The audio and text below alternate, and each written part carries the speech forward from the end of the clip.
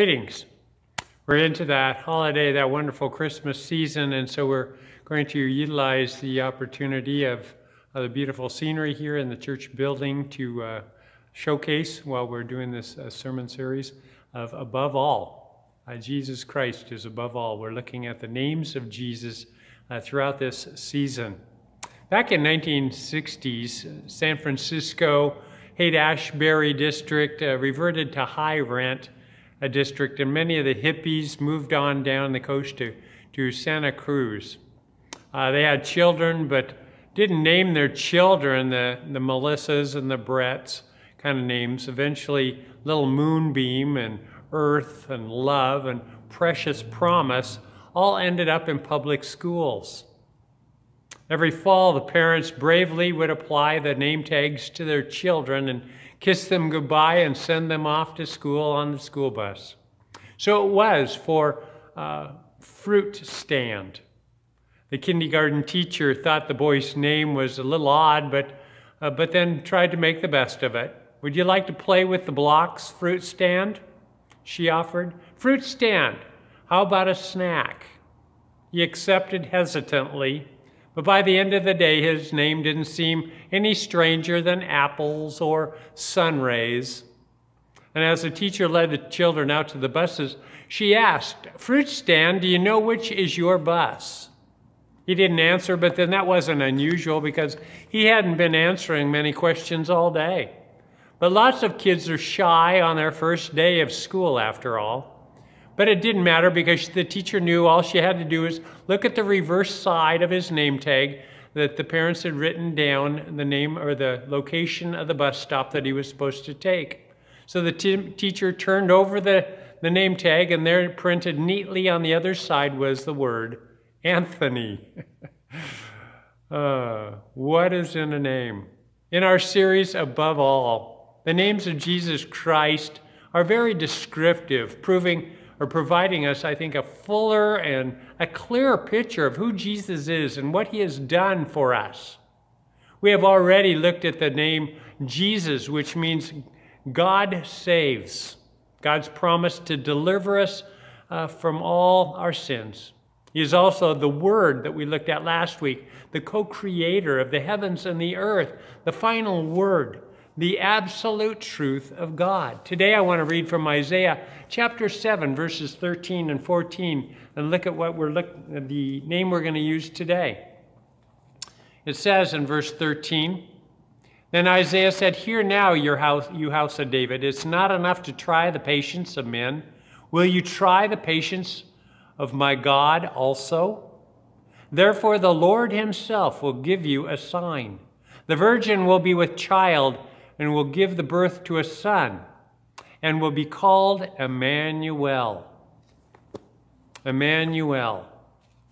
Another name Jesus had in, as the text said, is Immanuel. It's especially appropriate at this time of year as we pause to think about the Christmas, the Christ in that Christmas as well. Yet amongst the pageantry and the displays of the season, how many truly understand the importance of the story we put on Christmas music like Oh Holy Night or Away in the Manger, and our mind's eye goes back to and is filled with images of Christmas past, with images of a baby child, Jesus, laying in a manger with the shepherds uh, looking adoringly at the newborn king. But do we really grasp the significance of this moment? In Matthew chapter 1, the angel prepares Joseph and Mary for what was about to take place. And then Matthew sums it up in verse 22 and 23. It shows his understanding of the significance of what the angel was saying. All this took place, he said, to fulfill what the Lord had said through the prophet. The virgin will be with child and will give birth to a son, and they will call him Immanuel, which means God with us. Jesus is God with us. He is the God in the flesh. About 20 years or so ago, there was a, a popular song, One of Us, by Joan Osborne, that caused quite a stir because within it, one of the lyrics posed the question, What if God were one of us? Her question is a good one, and the good news is to that question there has been an answer. God has become one of us in the person of Jesus Christ. God Almighty left the throne of heaven, wrapped himself in human flesh, and was born as a completely dependent child to a poor young woman, pledged to be married to a common carpenter. On that first night, he was placed in an animal's feeding trough because there was no room for them at the inn. Wow, you could not get humbler circumstances for God to enter into the world. But that is what he did. And that's what is implied in the name Immanuel. To understand what Matthew intended by using this name, we have to go back to the book of Isaiah to see the original prophecy in its context.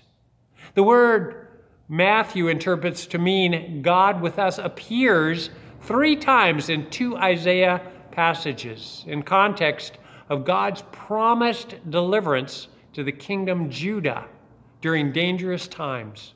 That northern kingdom, Israel, had teamed up with, Is- with Syria to fight against Judah, the southern kingdom. Judah's king Ahaz had a lot to be fearful of since his enemies were powerful.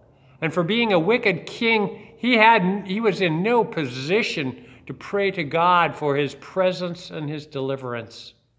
Nevertheless, God sent Isaiah to tell Ahaz that he would deliver them, but not for Ahaz's sake, but out of his faithfulness to his people. So when Isaiah was sent to Ahaz, God provided the king a sign that the message was authentic. As Isaiah said, Hear now, you house of David, it is not enough for you to try the patience of men. Will you try the patience of my God also? Therefore, the Lord himself will give you a sign. The virgin will be with a child and will give birth to a son and will call him Immanuel. In the very next chapter, the name Immanuel occurs twice more. For although Judah was spared that time in that battle, there is another one coming, another day when they would be conquered by the Assyrian army. But even then, God would thwart the enemies uh, for Immanuel, and God would be with them. So, why does Matthew use Isaiah's prophecy to describe Jesus? Because he wants us to know that Jesus is the fulfillment of God's promise to always be with his people that this child named Jesus is the ultimate fulfillment of that prophecy and is himself God with us. That was the promise given uh, through Isaiah's words to King Ahaz, and it has been his promise to his people all throughout the scriptures. There was a promise that God's made, God made to Moses, who in many ways was uh, an unlikely candidate for deliverer of God's people. Brought up in Pharaoh's household, banished for murdering an Egyptian, a shepherd for his father in law. He was 80 years old when God said, Go back to Egypt and free my people. And instead of going, Moses offered excuse after excuse. Who am I that I should go to Pharaoh and bring the Israelites out of Egypt? And this is God's answer. I will be with you. And this is to be the sign to you that it is I who have sent you. When you have brought the people of Egypt out, you will uh, worship God on this mountain. God claims Moses' fears, uh, calms Moses' fears, I should say, by assuring him, I will be with you. When Moses faced Pharaoh, he could do so with confidence because God enabled him to perform miracles. And when Pharaoh still refused, God brought up a, a series of plagues. And when Pharaoh finally gave in and freed the people, they were still out there wandering in the desert, but God remained with them, leading them with a pillar of cloud by the day and a fire by night, and sustaining them with manna from heaven. In fact, God never left them. He is true to his promises.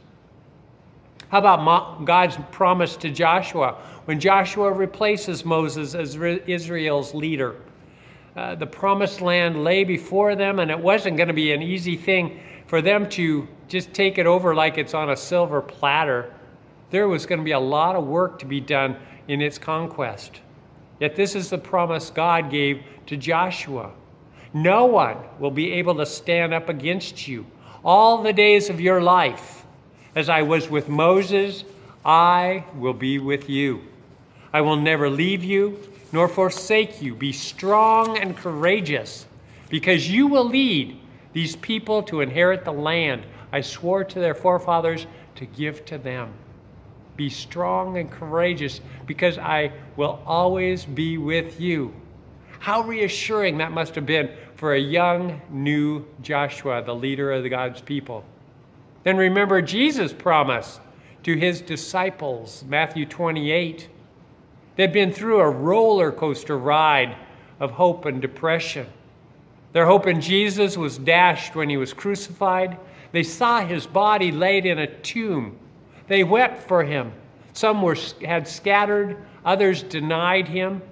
The women went to the tomb and they came back crying because his body had, was gone. But then they witnessed the most remarkable thing of all time Jesus had risen. Jesus appeared to them a number of times over a period of several days. There was no doubt. They were jubilant because he is alive. And then, just before Jesus is taken up to heaven, he gives them a, a set of lasting instructions of this of Matthew 28 19. Go and make disciples of all the nations, baptizing them in the name of the Father and of the Son and the Holy Spirit, and teaching them to obey everything that I have commanded you. And then he concludes it with this one last promise. And surely I am with you always to the end of the age. His disciples would face continuing persecution uh, as the teachings about Christ would indeed spread out through all the world. And they would ultimately face death, just as the teacher had, had also died. But they carried to their graves Jesus' reassuring promise I will be with you always. And that's the promise of Immanuel to you, even today, that he will be with each of us. True, he is no longer with us in the flesh as he had been with his disciples, but he is with you in an even more special way today through his Spirit. His promise, therefore, is to all of us. In John 14, it says, And I will ask the Father, and he will give you another counselor to be with you forever, the Spirit of truth. The Word cannot accept him because it neither sees him nor knows him. But you know him, and he lives with you and will be in you. I will not leave you as orphans, I will come to you. The promise continues. God, Jesus, Immanuel, continues to be with each of us through the precious Holy Spirit, the counselor, the advocate, the comforter, who has come and now lives with us and in us. And God's promise remains He will be with us uh, through all time.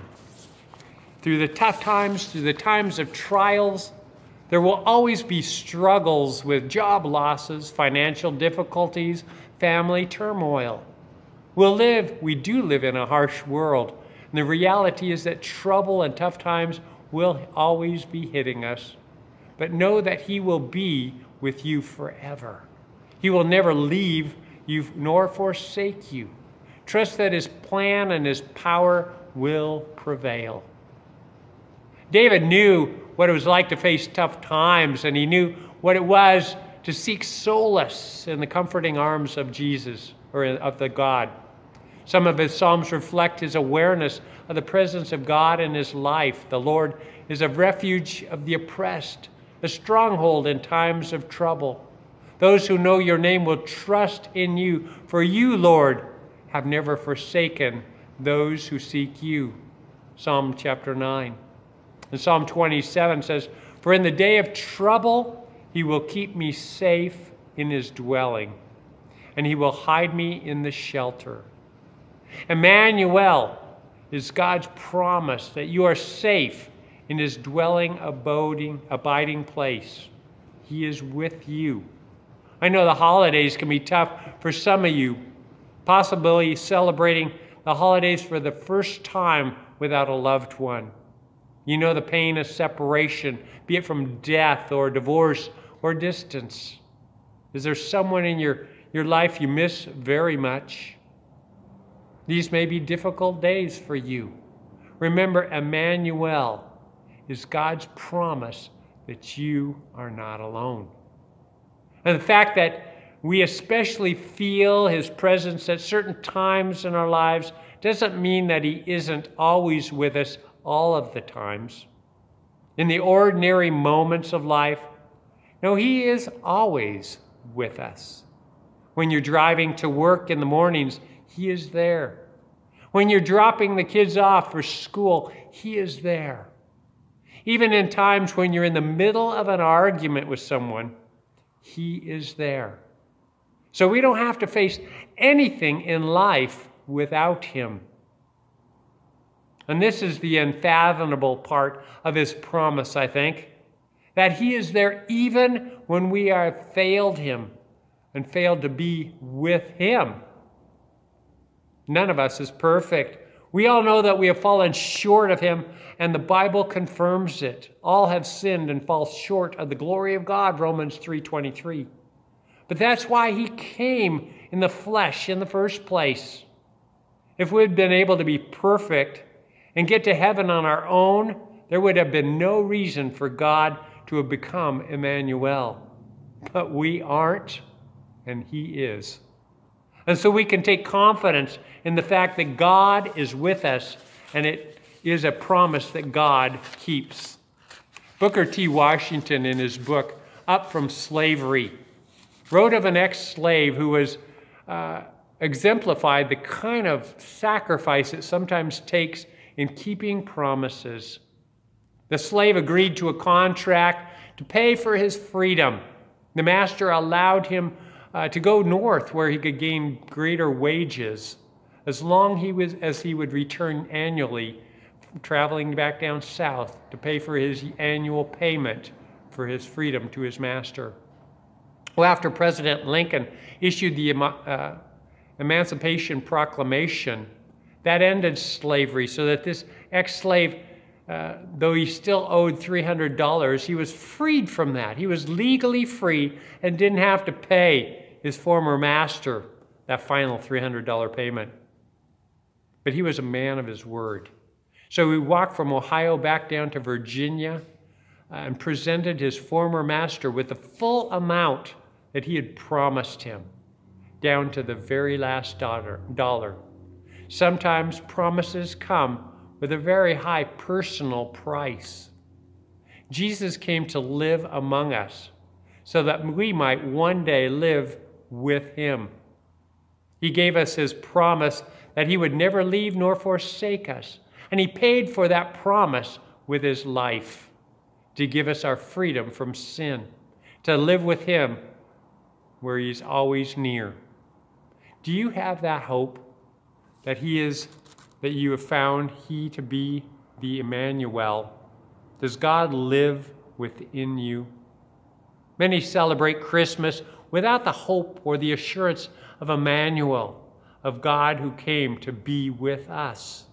He intends for that purpose for you today to last for all eternity will you receive the greatest gift of Christmas, Immanuel, to be the God with you for hope, salvation, trust, reliance, and a wonderful purpose for this life and for a life to come. In Jesus' name, amen.